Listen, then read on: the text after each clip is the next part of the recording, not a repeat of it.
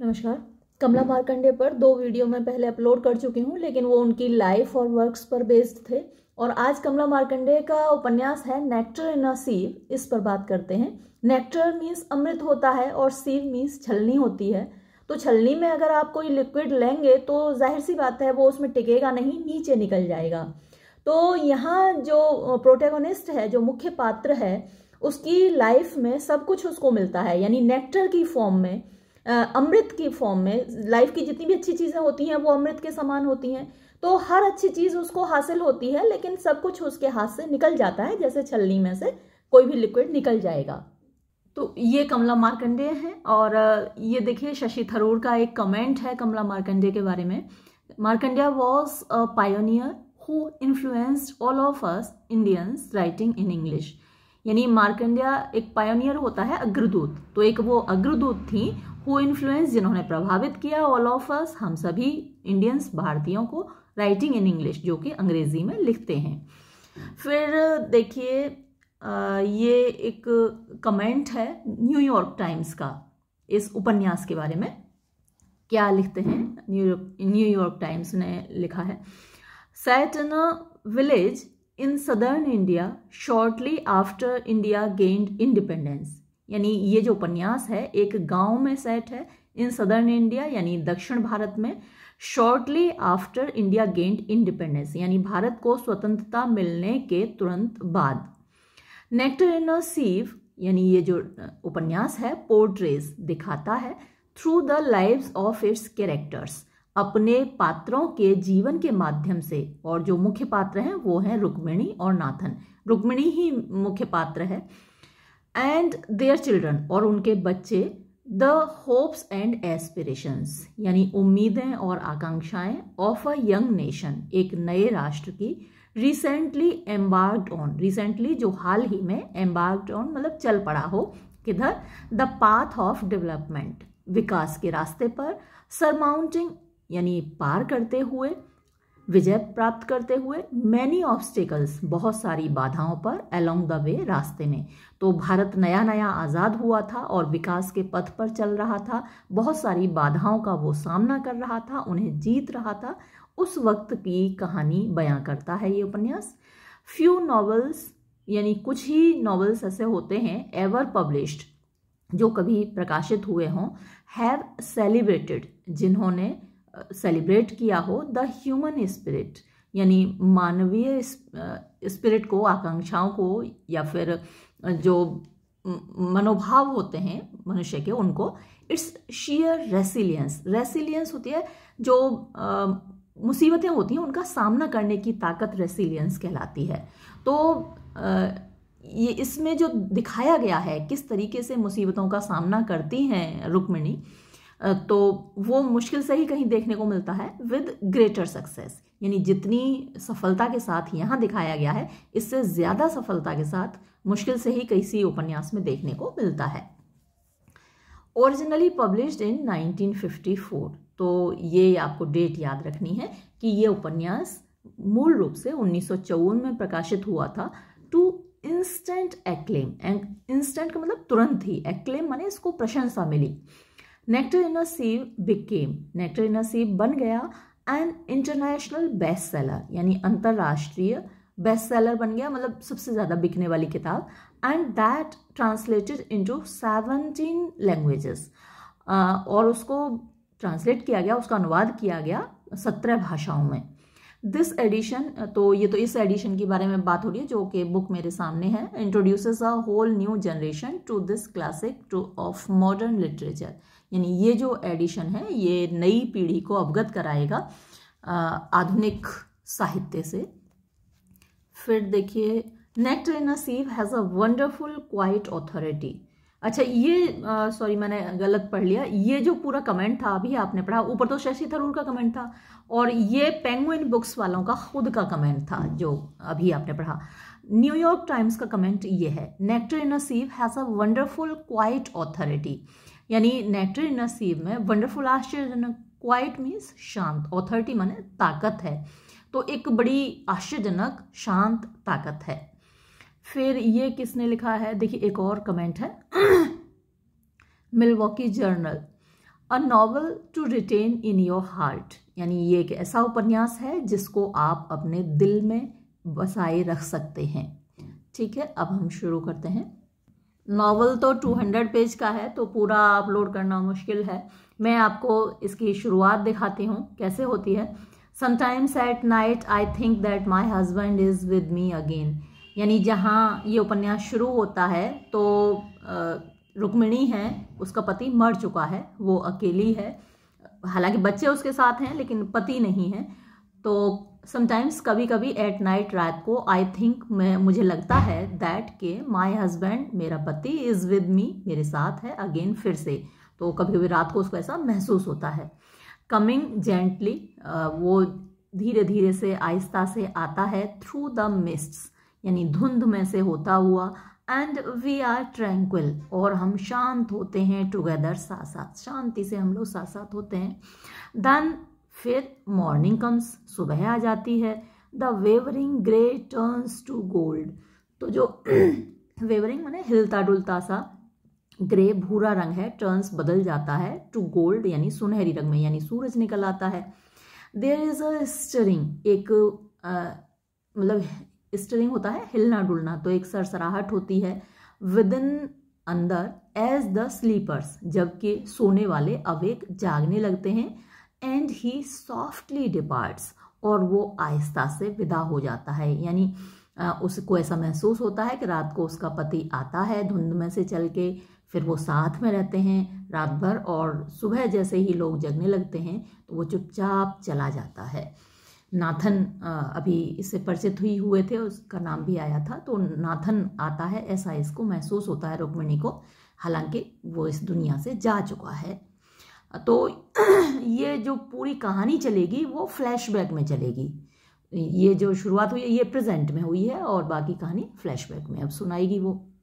तो उपन्यास की शुरुआत में रुक्मिणी बताती है कि वो एक गाँव के मुखिया जी की बेटी है। अच्छा खासा समृद्ध परिवार है प्रॉस्परस फैमिली है। तीन बहनों की शादी हो चुकी चार बहनें हैं कुल मिलाकर ये तो उनमें से तीन बहनों की शादी खूब धूमधाम से हुई, खूब पैसे थे मुखिया जी के पास। लेकिन जब रुक्मिणी की शादी का नंबर आता है, तब तक उनके पैसे ख़त्म हो चुके होते हैं और उसकी शादी होती है नाथन से। और जब वो विदा होकर आती है, एक बैलगाड़ी में हिलता डुलता लंबा सफ़र होता है शादी के बाद, और वो रास्ते में ही सो जाती है और it was my husband who woke me जब वो अपने घर पहुँचते हैं तो वहाँ उसके पति उसको जगाता है my husband whom I will call Nathan मेरा पति जिसको कि मैं नाथन कहकर ही बुलाऊँ whom I will call here Nathan यहाँ तो नाथन कहूँगी. For that was his name क्योंकि यही उनका नाम था. Although in all the years of our marriage हालाँकि मेरे आने वाले जो शादी के साल हैं I never called him that मैंने इस नाम से उनको कभी नहीं पुकारा. For it is not meet क्योंकि ये उचित नहीं होता फॉर अ वुमन एक महिला के लिए to address her husband except as husband अपने पति को सिर्फ़ पति कहकर ही पुकारना होता है नाम नहीं लेना होता। तो आपने देखा होगा, भारतीय परिवारों में महिलाएँ अपने पति का नाम नहीं लेती। We are home he cried हम घर आ गए वो चिल्लाया, यानी नाथन ने कहा वेकअप उठो लुक देखो। आई वोक मैं जगी आई लुक्ड मैंने देखा। अ, मड हट, एक मिट्टी की बनी हुई कुटिया, यानी वो जहाँ से आई है, उसका घर बहुत प्रॉस्परस था तो अच्छे घर में रही है हमेशा। सुख सुविधाओं में पली बढ़ी है, लेकिन यहाँ जाकर क्या देखती है वो कि एक मिट्टी की कुटिया है, थेस्ड, उस पर छप्पड़ पड़ा हुआ है स्मॉल छोटी है set near a paddy field एक धान का खेत है, उसके पास में वो कुटिया बनी हुई है with two or three similar huts nearby और अगल बगल दो तीन कुटियाँ और बनी हुई हैं। Across the doorway a garland of mango leaves और दरवाजे पर एक गार्लैंड टंगा हुआ है आम की पत्तियों का। आ, हिंदी में वैसे उसको वंदनवार बोलते हैं। आम की पत्तियों का या अशोक की पत्तियों का दरवाजे पर टांग दिया जाता है उसको वंदनवार बोलते हैं। तो वही टंगा हुआ था symbol of happiness and good fortune उसको संकेत माना जाता है प्रतीक माना जाता है खुशहाली का और सौभाग्य का। ड्राई नाव जो कि अब सूख गया था and rattling in the breeze और हवा की वजह से खड़खड़ा रहा था। दिस इज़ आर होम ये हमारा घर है। माई हजबेंड सैड मेरे पति ने कहा come I will show you आओ, मैं तुम्हें दिखाऊँगा. I got out of the cart मैं गाड़ी से नीचे उतरी।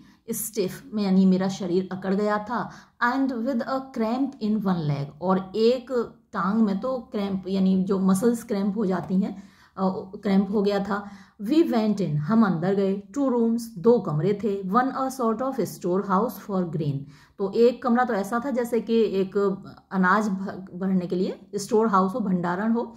The other for everything else और दूसरा कमरा, हर सारी चीज़, बाकी की चीज़ें दूसरे कमरे में थी। A third had been begun एक और तीसरा कमरा बनना शुरू हुआ था बट वॉज़ अनफिनिश्ड लेकिन वो तैयार नहीं हुआ था, अधूरा था।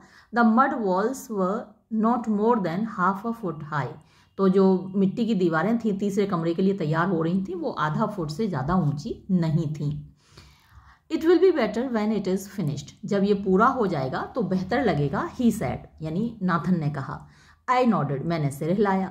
आई वॉन्टेड टू क्राई मैं रोना चाहती थी क्योंकि इस ऐसे अच्छे मकान में से निकल कर और वो ऐसी कुटिया में आ गई, दुर्दशा देख के वो, उसका रोने का मन कर रहा है।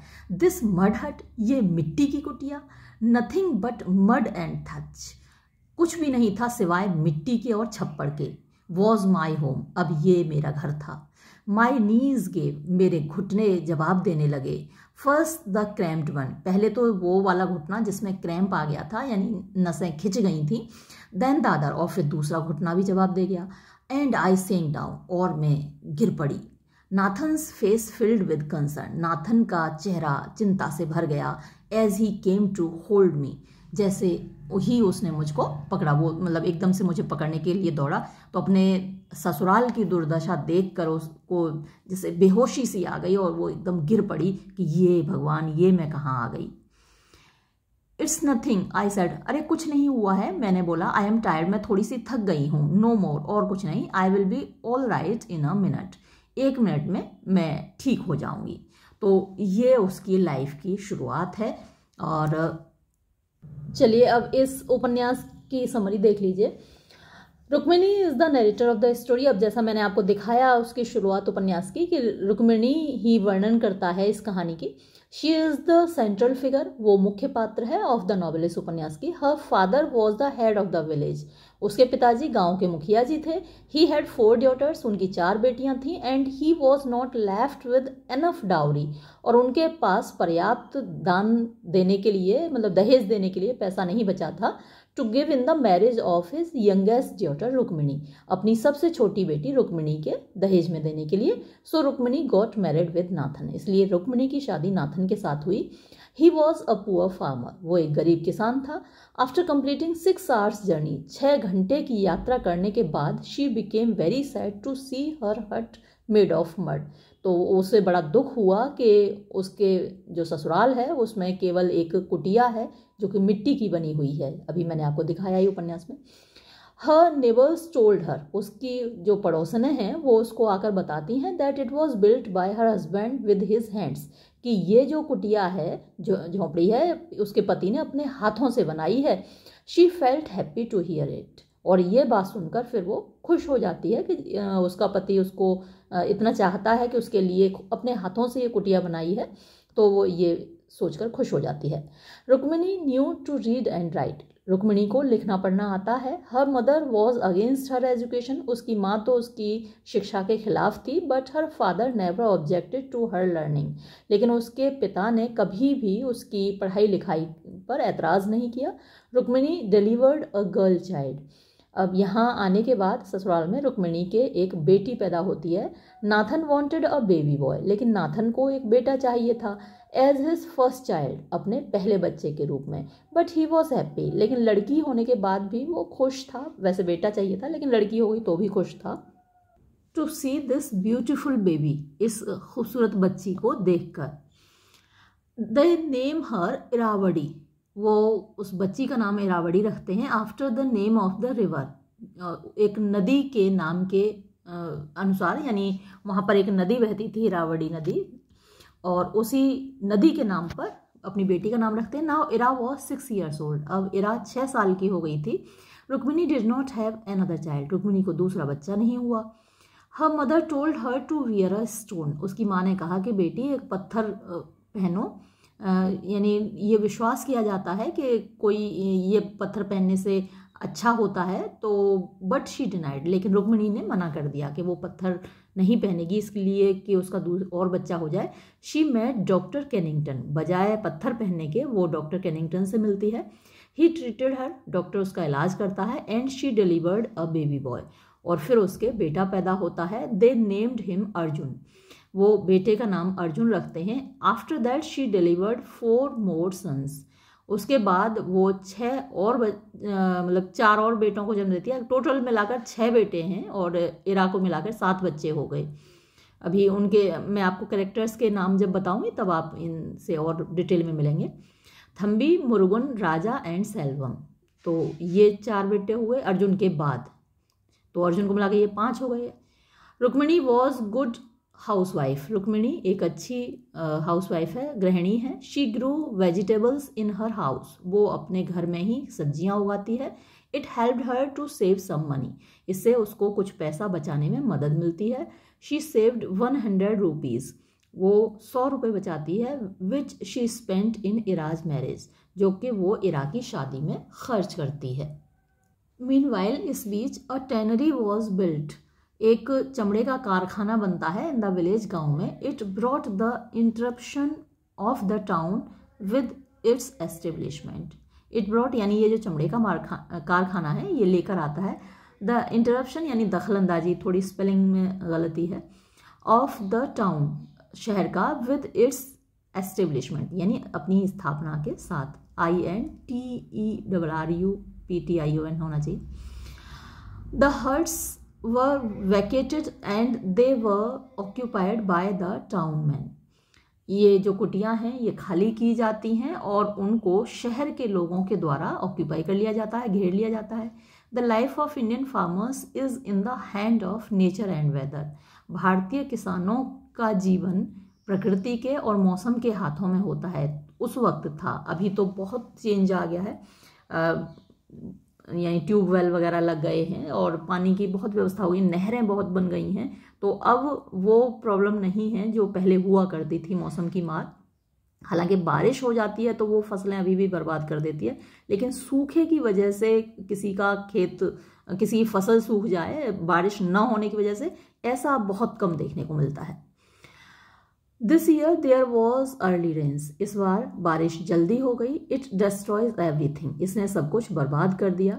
There was nothing to eat खाने को कुछ नहीं था। Nathan's paddy field was ruined by the storm Nathan का धान का खेत तूफ़ान ने बर्बाद कर दिया। Arjun and Thambi got employment in tannery Arjun और थम्बी को चमड़े के कारखाने में काम मिल जाता है। Meanwhile Ira's husband leaves her इस बीच होता ही है कि इरा का पति उसको छोड़ देता है by saying that she is barren ये कह के कि वो बैरन है, यानी बांझ है, बच्चे पैदा नहीं कर सकती। हालाँकि कमी इरा में नहीं थी, बल्कि उसके पति में थी। Rukmini was very sad Rukmini बहुत दुखी होती है अपनी बेटी का ये हाल देखकर। Rukmini as a set Nathan and relation had relations with Kunthi which was who was her neighbour यानी नाथन के कुंती के साथ संबंध होते हैं। नाथन भी बेवफाई करता है और जो कि कुंती उनकी पड़ोसन थी, उसके साथ नाथन के संबंध होते हैं। It came to Rukmini as a shock तो रुक्मिणी को ये देख कर एकदम धक्का लगता है, उधर बेटी को उसका पत्ती छोड़ देता है। Rukmini gave birth to a son इस बीच रुक्मिणी के भी एक और बेटा होता है। हिज नेम वॉज़ कुटी उसका नाम कुटी था तो अब हो गए ना छह देखिए। है ना? और इरा को मिला के सात बच्चे हो गए। ऊपर पाँच लड़कों के नाम थे। नाम याद कर लीजिएगा। अभी मैं बताऊँगी कैरेक्टर्स के नाम तो उनको याद रखिएगा। It was a hard time for her उसके लिए ये बड़ा मुश्किल समय था। और आप लोग ये आश्चर्य मत कीजिएगा कि उसके सात बच्चे थे। पहले इसी तरीके से बच्चे होते थे। सात तो बहुत कम है। चौदह चौदह बच्चे होते थे लोगों के। हालाँकि उनमें से ज़्यादातर मर जाते थे, क्योंकि मेडिकल फैसिलिटीज़ वैसी नहीं थी जैसी आज हैं। तो ये बड़ी मुसीबत का समय था उसके लिए। Ira goes for prostitution. Ira वैश्यवृत्ति अपना लेती है। Nobody has the courage to stop her किसी में हिम्मत नहीं होती उसको रोकने की। She becomes pregnant and gives birth to a baby boy वो मतलब प्रोस्टिट्यूशन की वजह से वो प्रेग्नेंट हो जाती है। तो इससे साबित होता है कि उसमें कमी नहीं थी। और वो एक लड़के को जन्म देती है और who brings completeness to her womanhood इससे उसकी जो औरत होना स्त्री होना पूरा कंप्लीट होता है। यानी माँ बनने के बाद ही एक औरत कंप्लीट होती है तो इसलिए वो एक बेटे को जन्म देती है। फिर देखिए आगे। Selvam starts working as an assistant to doctor Kennington तो सेल्वम जो कि बेटा है रुक्मणी का, वो एक असिस्टेंट के तौर पर काम करने लगता है डॉक्टर कैनिंगटन के। The tannery owner wanted to buy his field and Nathan has no option except selling तो जो कारखाने का मालिक है, वो खेत खरीदना चाहता था और नाथन के पास कोई विकल्प नहीं है सिवाय अपने खेत बेचने के। हिज हेल्थ वॉज़ डिटेरियोरेटिंग उसका स्वास्थ्य बिगड़ रहा है so he wants to go to Murugan इसलिए वो मुर्गन यानी उसका बेटा है who was living in the town with his wife वो अपने पत्नी के साथ शहर में रह रहा है और इसलिए वो वहाँ अपने बेटे के पास जाना चाहता है। After a long tiresome journey एक लंबी थकाने वाली यात्रा के बाद they reach to doctor Birla at Koil street वो डॉक्टर बिरला के पास पहुँचते हैं कोयल स्ट्रीट में। She told that she he had left the job और वो बताते हैं कि उसने तो काम बहुत पहले छोड़ दिया मुर्गन ने। टू ईयर्स बैक दो साल पहले his family lives at Chamundi hill और उसका परिवार चामुंडी हिल पर रहता है। दे वेंट देयर फिर नाथन और रुक्मणी वहाँ जाते हैं एंड फेल्ट शॉक्ड और उन्हें ये देखकर धक्का लगता है that Murugan had left his wife Ammu, कि मुर्गन ने अपनी पत्नी अम्मू को छोड़ दिया है एंड चिल्ड्रन और बच्चों को छोड़ दिया है एंड वेंट अवे समवेयर और कहीं चला गया है। फिर Nathan and Rukmini came back to the temple अब नाथन और रुक्मिणी वापस आते हैं मंदिर पर। They had no money to return back अब उनके पास कोई पैसा भी नहीं है जिससे गाँव वापस जा सकें। Here they met orphan Puli यहाँ पर उनकी मुलाकात एक अनाथ बच्चे पुली से होती है। वो ले पर भी है, कोढ़ी है। उसके अंग गल रहे हैं, सड़ रहे हैं टूट टूट कर गिर रहे हैं। तो उससे मुलाकात होती है। He told them about the stone quarry अब इनके पास पैसा नहीं है तो पुली उनको बताता है, एक स्टोन क्वेरी क्वेरी मतलब खदान होती है तो जहाँ से स्लेट वगैरह जो निकाली जाती हैं खोद कर खदान को तो उसके बारे में बताता है। वेयर नाथन स्टार्ट वर्किंग और नाथन उसमें काम करना शुरू कर देता है उस खदान में। रुक्मिणी अर्न्स अनाज बाय रीडिंग लेटर्स रुक्मिणी क्योंकि लिखना पढ़ना जानती थी तो लोगों के ख़त पढ़ती है, पढ़कर सुनाती है, और फिर उनके जवाब लिखती है तो ऐसे ख़त पढ़ के और लिख के वो एक आना लेती है, एक लेटर का और ऐसे पैसे कमाती है। वन ईयर पास्ट एक साल गुजर गया। Nathan and Rukmini broke stone and earn eight annas तो नाथन और रुक्मिणी ये पत्थर तोड़ते हैं और आठ आना कमाते हैं। They want to save enough money to return back to the village और वो पर्याप्त पैसा कमा लेते हैं, बचा लेते हैं गाँव लौटने के लिए। It was a rainy day बरसात का दिन था। नाथन वॉज़ बैट नाथन भीग गया। He became unconscious and died और उसको मतलब फीवर हुआ, बेहोश हो गया और मर गया। इट वॉज़ आयरनिकल ये बड़ी विडम्बना से भरा हुआ था। दे हैड फोर सन्स उनके चार बेटे थे अलाइव ज़िंदा थे but there was none with them लेकिन उनके साथ उसमें से कोई नहीं था। जिस, वैसे फोर नहीं है, उनके छः बेटे हैं। है ना? तो यहाँ थोड़ा सा गड़बड़ है ये। द डेज़ वेंट बाय दिन गुजरते गए। One day Rukmani called Puli एक दिन रुक्मणी ने पुली को बुलाया एंड आस टू हायर अ कार्ट और उससे कहा कि ज़रा एक किराए पर, भाड़े पर गाड़ी ले लो। They return back to village और भाड़े पर गाड़ी करके वो लोग गाँव वापस लौट गए। Rukmini informs them that Nathan and she Rukmini उनको इन्फॉर्म कर दिया, सूचना देती है मतलब अपने परिवार के सदस्यों को, अपने बच्चों को बताती है कि नाथन ने और उसने, यानी नाथन और रुक्मिणी दोनों ने मिलकर हैव अडॉप्टेड पुली तो पुली को गोद ले लिया है एज अ सन एक बेटे के रूप में। दे इंक्वायर अबाउट नाथन वो नाथन के बारे में पूछते हैं। शी बिकम साइलेंट वो शांत हो जाती है। It was a gentle passing यानी सब कुछ आराम से हो गया। I will tell you later मैं तुमको बाद में बताऊँगी। यहाँ आकर ये उपन्यास ख़त्म होता है। और ये देखिए लास्ट पेज है उपन्यास का। uh, जब वो घर पहुँचती है from the unfinished scaffolded building a figure emerge came running Selvam my son तो उस बिल्डिंग से जो कि अनफिनिश थी इनकम्प्लीट थी अपूर्ण थी, उसमें से एक व्यक्ति निकल कर आता है और वो कौन था? सेल्वम, मेरा बेटा। जब वो वापस शहर से गाँव पहुँचती है थैंक गॉड हे भगवान का शुक्रिया ही सैड उसने कहा आर यू ऑल राइट क्या तुम ठीक हो, माँ? एंड ही हेल्ड मी और उसने मुझे पकड़ा माई डॉटर ज्वाइंड अस और हमारी बेटी भी, ने भी आके मुझे पकड़ा her haste making her breathless इतनी जल्दी में वो दौड़ कर आई कि इसकी सांस फूल गई। Puli alone not of the family Puli ही एक ऐसा था जो कि परिवार का नहीं था, बाकी सब परिवार के लोग थे standing a little apart awkwardly थोड़ा दूर खड़ा हुआ था मतलब बेतरतीब ढंग से। Clutching in his arms the dum dum cart I called to him और वो डम डम गाड़ी उसके हाथ में लगी हुई थी और मैंने उसको बुलाया। माई सन आई सैड मैंने कहा, ये भी मेरा बेटा है। वी एडॉप्टेड हिम हमने उसको गोद लिया है। योर फादर एंड आई तुम्हारे पिताजी ने और मैंने मिलकर इसको गोद लिया था। You look tired and hungry तुम बड़ी थकी हुई और भूखी लग रही हो। इरा सैड इरा ने कहा टेकिंग हिज आर्म उसकी वहाँ पर अच्छा ये पुली से कहा है इसका मतलब। इरा ने come with me and rest I will prepare the rice मेरे साथ आओ और आराम करो, मैं चावल तैयार करती हूँ। दे वर्कड ऑन अहेड वो आगे आगे चले। तो पुली को लेके इरा चली जाती है। डू नॉट वरी चिंता मत करो। सेल्वम सेड सेल्वम ने कहा वी शेल मैनेज हम सब कुछ संभाल लेंगे. देयर वॉज़ अ साइलेंस एकदम शांति हो गई। आई स्ट्रगल्ड मैं कोशिश कर रही थी टू से कहने की। What had to be said जो कुछ कहा जाना था।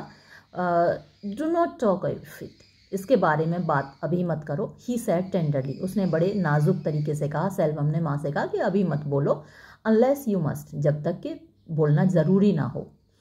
It was a gentle passing सब कुछ धीरे धीरे आहिस्ता से गुजर गया।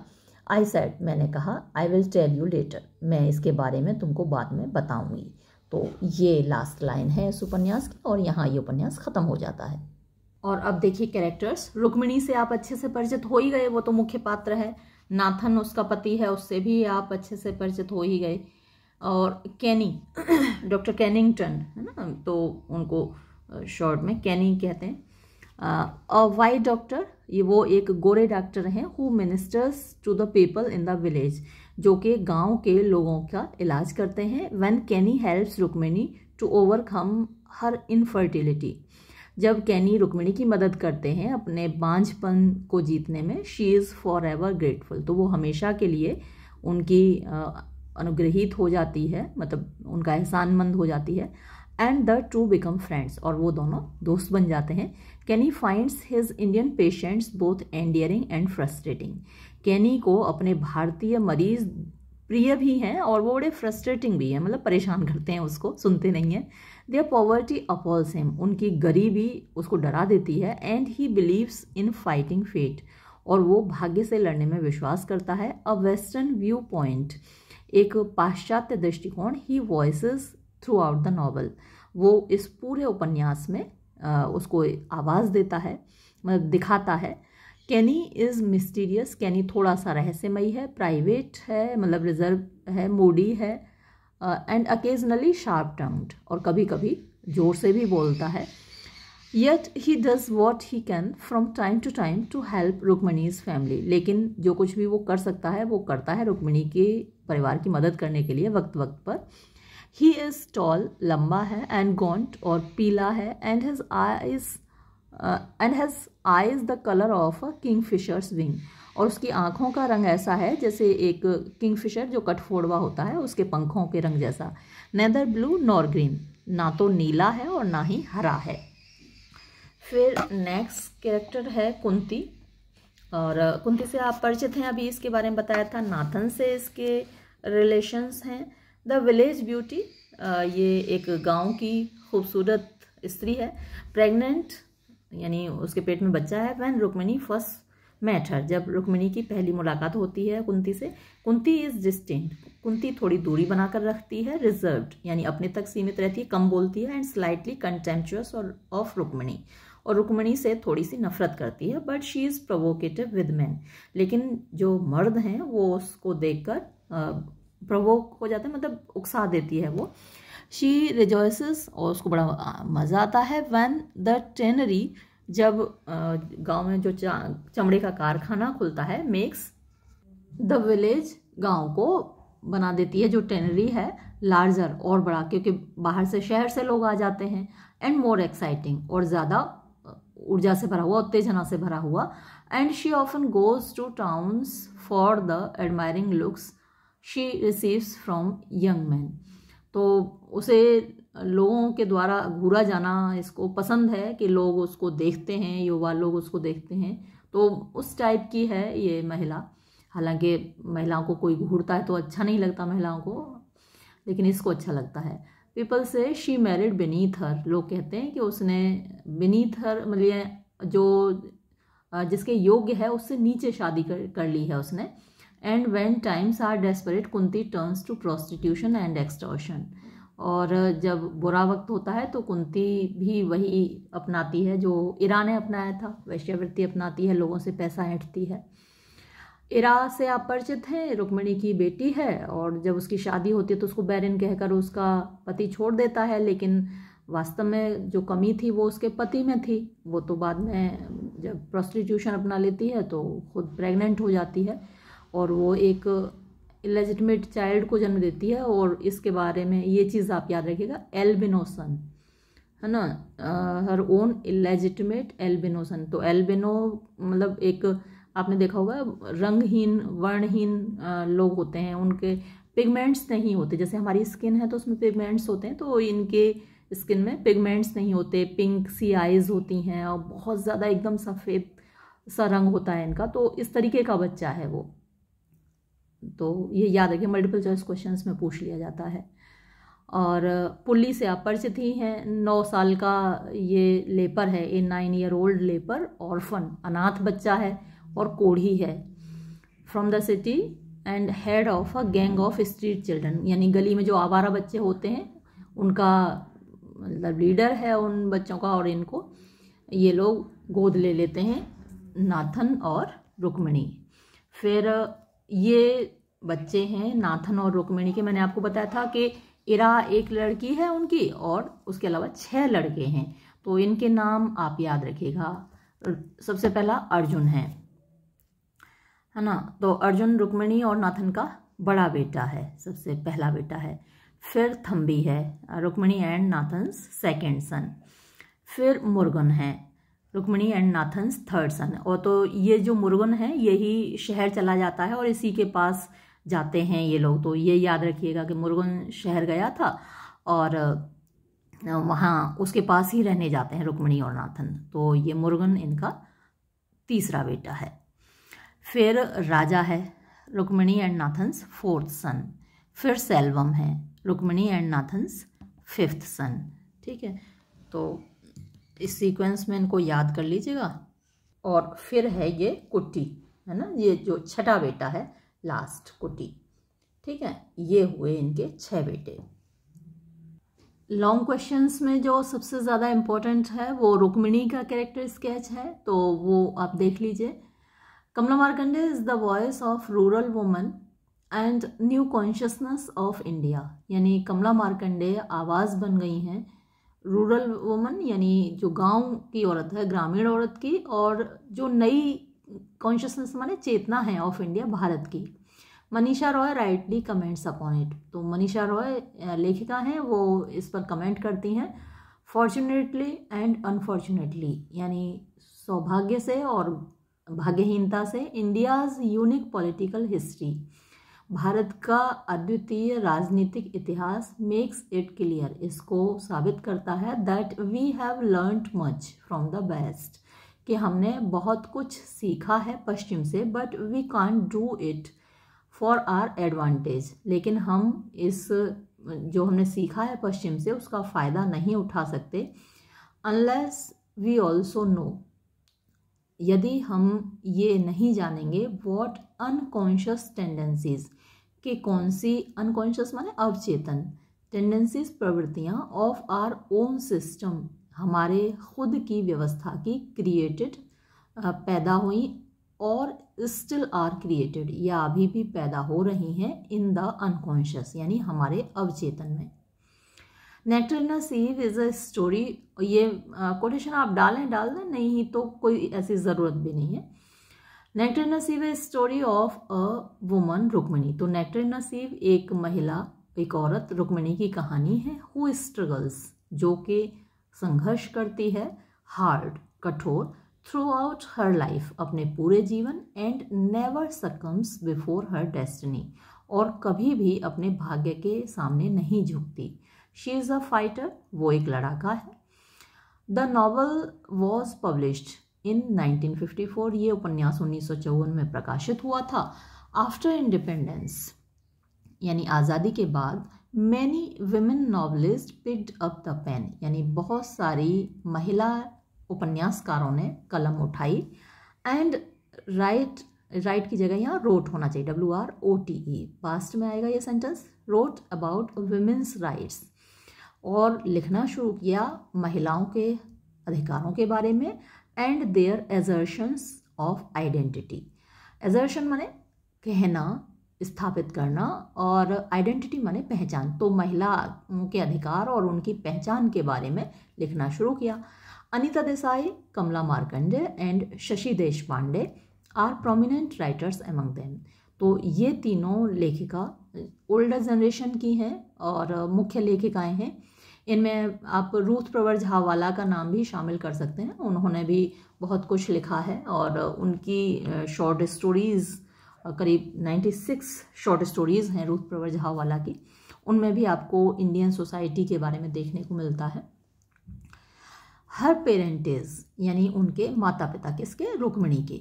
Rukmini is narrator of the story तो रुक्मिणी इस कहानी की वर्णन करता है, सुनाया है उसने कहानी को।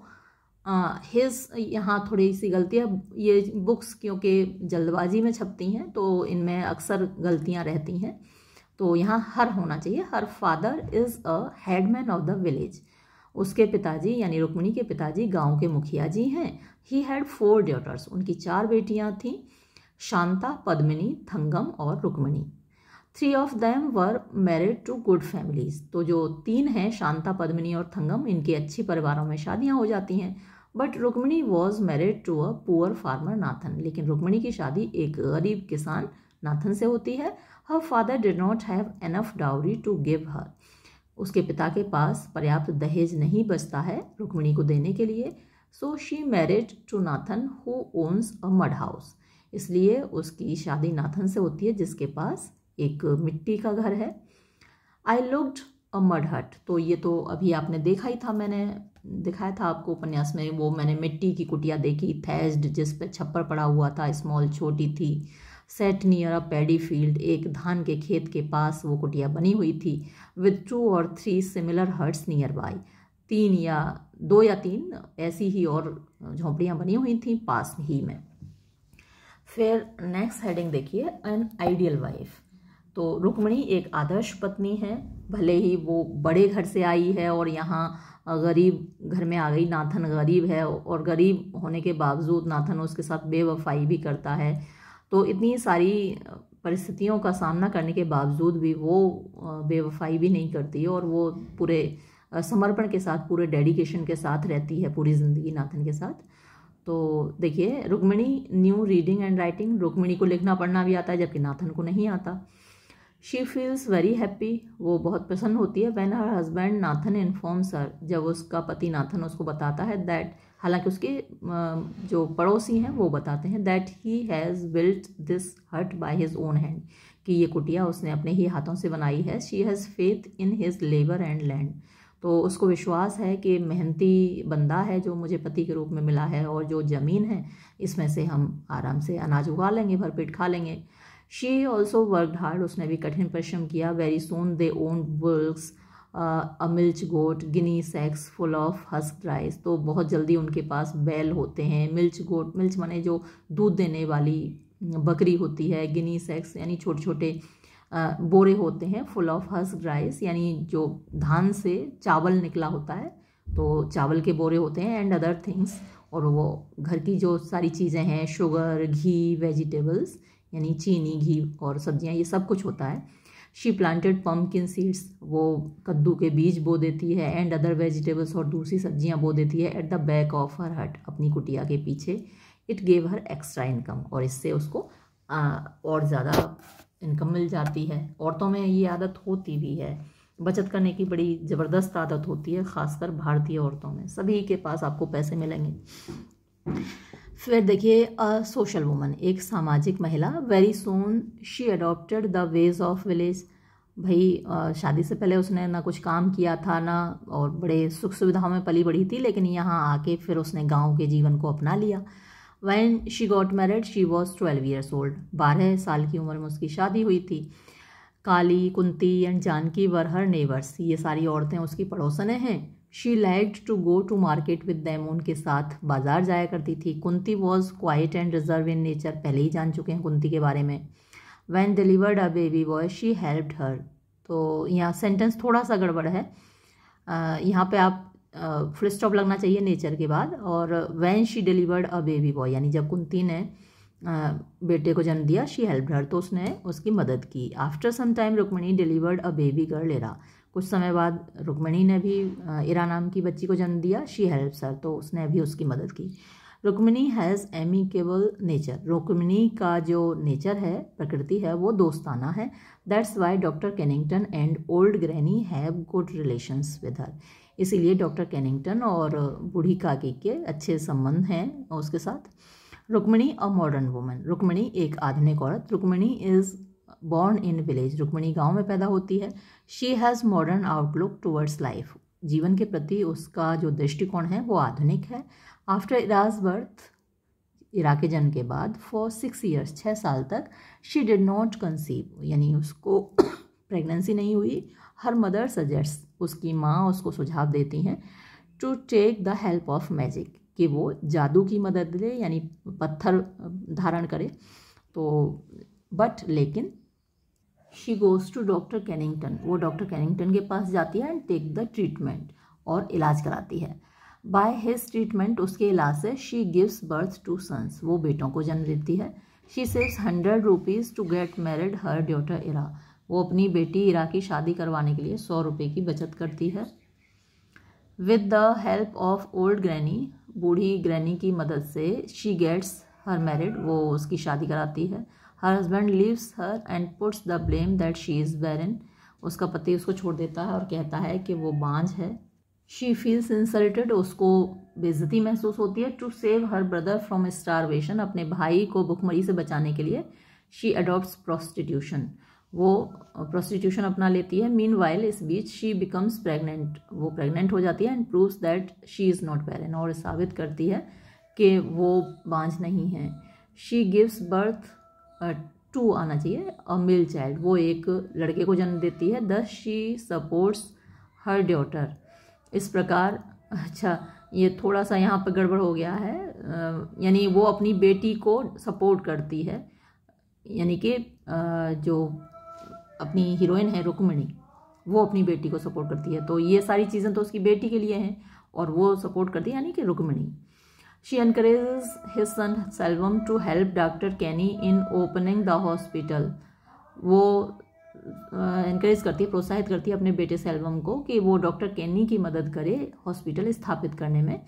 She learns he learns medical work and assistant तो सेल्वम ये मेडिकल वर्क सीखता है और उसकी मदद करता है।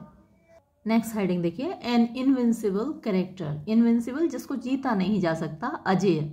तो उसका जो चरित्र है, वो अजय है। कितनी भी परेशानियाँ आए, उसको नहीं हरा पाती। Her life is a tale of struggle उसका जीवन एक संघर्ष की कहानी है। Spite of being the daughter of headman daughters नहीं आएगा ड्योटर आएगा। एक मुखिया जी की बेटी होने के बावजूद she is married in a poor family उसकी शादी गरीब परिवार में होती है।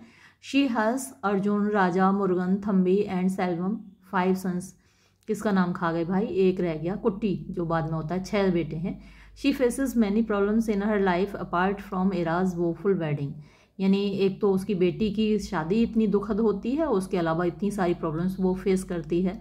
Raja worked at tannery Raja tannery यानी जो चमड़े का कारखाना है, उसमें काम करता है। He caught he is caught आना चाहिए स्टीलिंग उसको चोरी करते हुए पकड़ा जाता है and he was beaten to death और उसको मार मार कर पीट पीट कर उसकी मार दिया जाता है।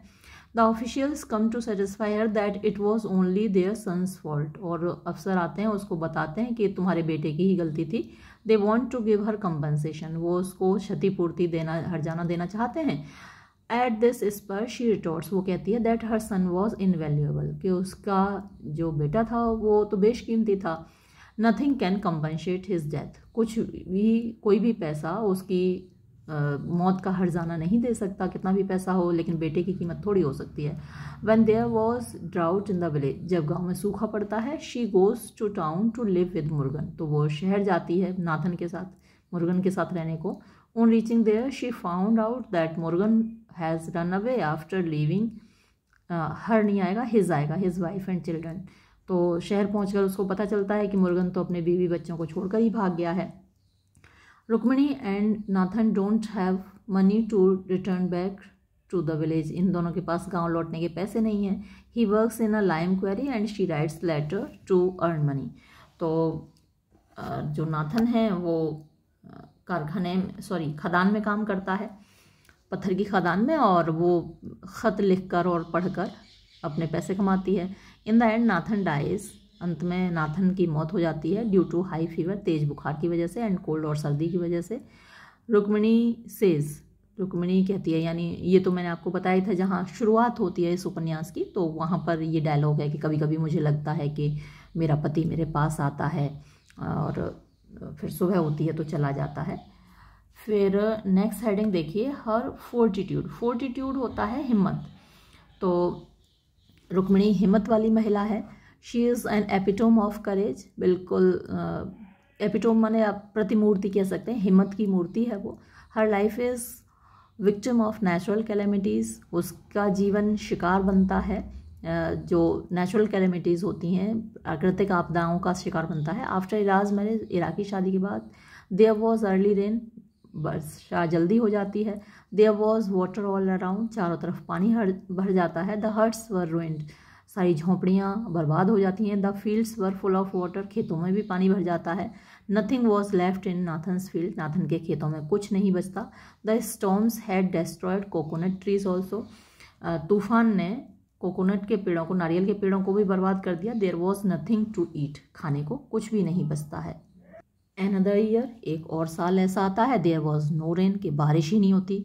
तो मौसम कुछ ऐसा ही रहता है, कभी तो बाढ़ आ जाएगी, इतना पानी बरसेगा और कभी बारिश ही नहीं होती तो सूखा पड़ जाता है। अब बारिश नहीं होती they have to sell their fields उनको अपने खेत बेचने पड़ते हैं एंड लीव द विलेज और गाँव छोड़ना पड़ता है टू गो टू टाउन शहर जाने के लिए to live with Murugan Murugan के साथ रहने को। दस इस प्रकार Rukmini is a representative Rukmini प्रतिनिधित्व करती है of a rural woman in India Bharat की जो ग्रामीण महिलाएँ हैं, उनका प्रतिनिधित्व करती है who lives hand to mouth जो कि हैंड टू माउथ माने गरीबी में जीवन यापन करते हैं and struggle hard to survive और जीवित रहने के लिए उनको कठोर संघर्ष करना पड़ता है। और भी अगर आप ज़्यादा जानना चाहें, इस कैरेक्टर के बारे में तो ये जर्नल है the criterion an international journal in English और इसका जो अगस्त 2016 का इश्यू है। इसमें एक रिसर्च पेपर मेरा पब्लिश हुआ था। तो मैं आपको देखिए उसकी डिटेल्स दे दे रही हूँ। आप चाहें तो इसको पढ़ सकते हैं, ठीक है? और इसमें मैंने भी बहुत डिटेल में कमला मार्कंडे के ऊपर, सॉरी नेक्टर सीव पर लिखा था। और स्पेशली ये कैरेक्टर था हमारी हीरोइन का। और ये टाइटल था पेपर का potentiality and timidity of rural Indian women as reflected in Kamala Markandaya's nectar in a sieve तो अगर आप गूगल पर ये टाइटल भी टाइप कर देंगे तो पूरा रिसर्च पेपर आपके सामने निकल के आ जाएगा। आप उसको पढ़ सकते हैं। यहाँ मैंने बहुत डिटेल में रुक्मणी के करेक्टर के बारे में डिस्कस किया है। तो आप चाहें तो ये देख सकते हैं। अगर आप ग्रेजुएशन लेवल पर लिख रहे हैं, जैसे कि मैं जो अपलोड कर रही हूँ मेनली सिक्स सेमेस्टर के लिए अपलोड कर रही हूँ तो आपके लिए इतना ही काफ़ी है करेक्टर स्केच जो मैंने दिखाया है। लेकिन अगर एमए लेवल का आप लिख रहे हैं तो फिर एक बार मेरा वो रिसर्च पेपर आप देख लीजिएगा, उसका प्रिंट आउट निकाल लीजिएगा, आपके काम आएगा।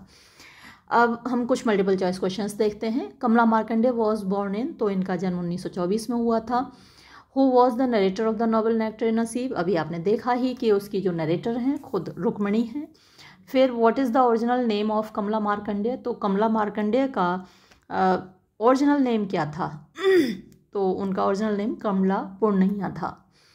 फिर nectar in sieve was published in तो नेक्टर इन सीव कब प्रकाशित हुआ? उन्नीस सौ चौवन में प्रकाशित हुआ।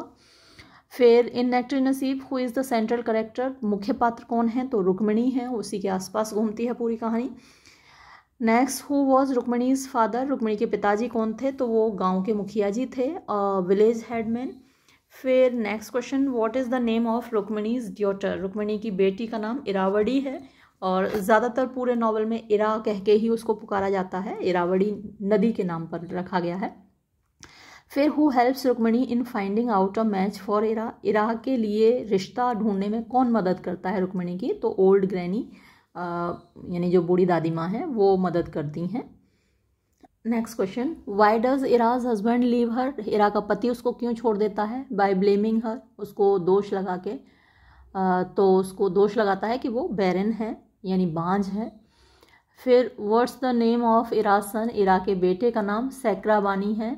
और आपने, आपको मैंने बताया ही था, उसके बेटे का मतलब पिगमेंटेशन नहीं है। पिगमेंट्स नहीं है उसकी स्किन में तो उस तरीके का बच्चा है वो। फिर who returns with Rukmani when she comes back to the village तो जब गाँव को वापस आती है रुक्मणी तो उसके साथ में कौन आता है? तो पुली आता है, एक कोढ़ी है बच्चा लेपर है, और उसको इन्होंने गोद ले लिया है। फिर क्वेश्चन नंबर ट्वेल्थ देखिए what is the name of Rukmini's husband Rukmini के पति का नाम आप जानते ही हैं, नाथन। फिर where does the novel set in तो ये जो उपन्यास है, इसकी पृष्ठभूमि क्या है? A village of South India तो दक्षिण भारत के एक गाँव में सेट है ये उपन्यास। वेयर डज नाथन वर्क यहाँ वर्क्स नहीं आएगा। एट इन टाउन तो शहर में नाथन कहाँ काम करता है? इन अ लाइम क्वेरी तो एक खदान में, पत्थर की खदान में काम करता है। लाइम क्वेरी मतलब वही जो स्लेट वगैरह का पत्थर वहाँ से निकाला जाता है। फिर लाइम में वैसे चूना होता है तो चूना पत्थर कह सकते हैं आप। Who assists doctor Kenny in building hospital तो डॉक्टर कैनी का हॉस्पिटल बनवाने में कौन मदद करता है? सेल्वम मदद करता है। याद रखिएगा, बहुत इंपॉर्टेंट है। इसके सारे बच्चों के जो नाम है, ज़रूर याद रखिएगा। और ख़ासकर ये सेल्वम है। Who is not Rukmini son तो इनमें से रुक्मिणी का बेटा कौन नहीं है? तो पुली नहीं है। पुली वो लड़का है जिसको इन्होंने गोद लिया है। ज़रूर याद रखिएगा। What is the name of Murugan's wife Murugan की पत्नी का नाम अम्मू है, जिसको छोड़ के चला जाता है मुर्गन फिर what are the themes of the novel nectar in a sieve तो ये जो उपन्यास है नेक्टर इन द सीव इसकी क्या थीम्स हैं? यानी विषय वस्तु क्या है? तो ये सारी विषय वस्तु हैं, उसमें हंगर, भूख की बात होती है सुपरस्टिशन यानी अंधविश्वासों की भी बात होती है। जो माँ हैं रुक्मिणी की, वो उसको एडवाइस देती हैं कि बेटी पत्थर पहन लो, तुम्हारे बेटा नहीं हो रहा है। फिर पॉवर्टी गरीबी तो दिख ही रही है पूरे में तो ऑल ऑफ़ दीज आएगा। फिर हाउ मैनी अगर थीम्स पे क्वेश्चन आता है तो इन्हीं को हेडिंग्स बना के आप थोड़ा डिटेल में लिख दीजिएगा और एग्जांपल्स दे दीजिएगा है ना भूख के गरीबी के सुपरस्टिशन के। फिर how many annas does Rukmani earn by reading and writing a letter तो कितने आना कमाती है रुक्मणी? खत लिखकर और पढ़कर तो एन आना ईच हर खत का लिखने का पढ़ने का एक आना लेती है। How does Nathan die Nathan की मौत कैसे होती है? फीवर एंड कोल्ड बुखार से और सर्दी से। तो ये मल्टीपल चॉइस क्वेश्चंस थे। आ, मुझे लगता है ये वीडियो में यहीं समाप्त करना चाहिए। कुछ बच्चे पूरा उपन्यास अपलोड करने की रिक्वेस्ट करते हैं, जो कि अभी तो संभव नहीं है। भविष्य में कभी वक्त मिलेगा तो ये काम भी करूँगी। वैसे तो मैंने ड्रामाज अपलोड किए हैं। ड्रामा थोड़ा छोटा होता है नावल की कंपैरिजन में तो वो तो हो जाता है, लेकिन नावल को अपलोड करना बहुत मुश्किल है। लेकिन भविष्य में कभी कोशिश करूँगी, और तब तक के लिए धन्यवाद।